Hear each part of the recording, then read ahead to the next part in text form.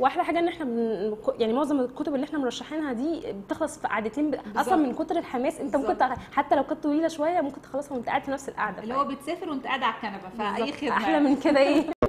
الحقيقة أنا وندى بنشترك في ثلاث حاجات. أول حاجة إن أنا وهي إحنا الاثنين بابانا اسمه مجدي. تاني حاجة إن إحنا الاثنين بنحب الكتب. تالت حاجة إن إحنا الاثنين بنحب السفر. السفر. النهارده قررنا إن إحنا نكلمكم عن حاجة من الحاجات الثلاثه اللي إحنا بنحبهم وهم أدب الرحلات. يلا بينا.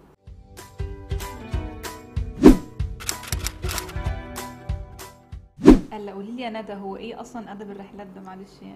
أدب الرحلات ده أدب بيكون فكرته على السفر. المؤلف بيكون عنده تجارب شخصية بيختار يشاركها معانا والأدب ده بالذات أحد مميزاته الرئيسية إنه بيقوم على الوصف وصف الطبيعة وصف الأماكن آه، وصف الناس. طب ينفع مثلا إن الشخص يكون مهتم إن هو يوصف آه، يعني العادات آه، بين الشعوب الفرق بين اللغة أو اللهجات بين المدن؟ ممكن نقول إن هو مزج بين حد بيديك معلومات عن بلد تمام. وفي نفس الوقت بيديك حدوتة حلوة. وهو بي- بيهتم بالتوثيق التاريخي والجغرافي والإنساني أو الاجتماعي للبلد اللي هو شايفه. إيه رأيك بقى نقول لهم شوية كتب من أدب الرحلات دي؟ يلا نرشح لهم.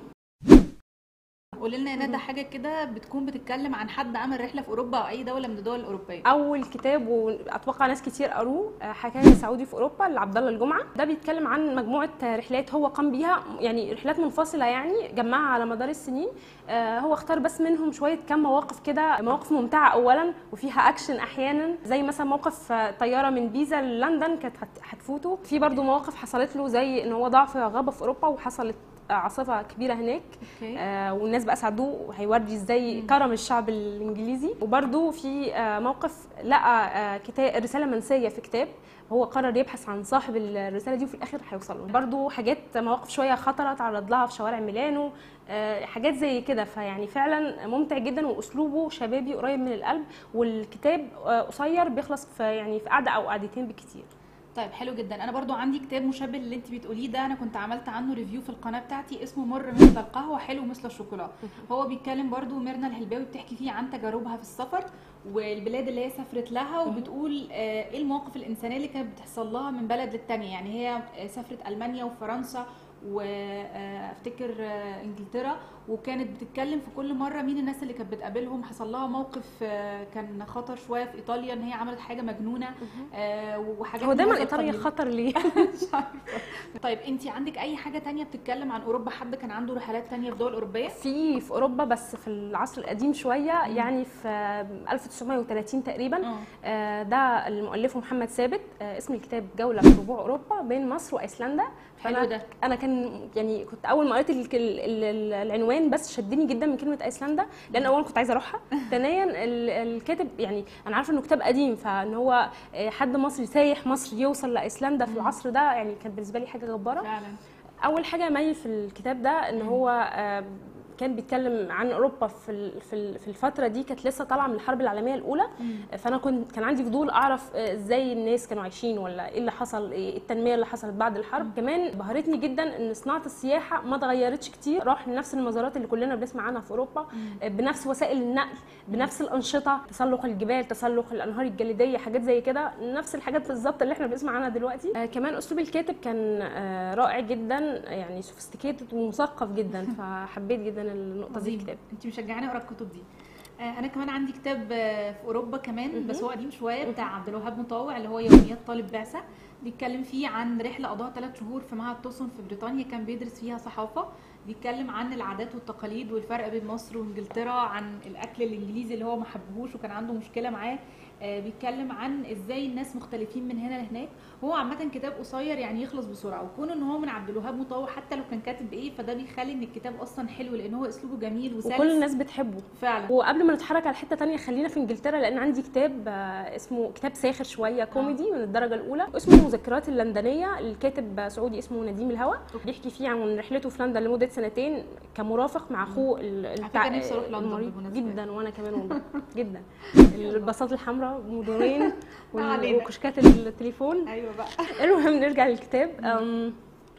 هو كان مرافق مع أخوه كان في رحلة علاجه هناك.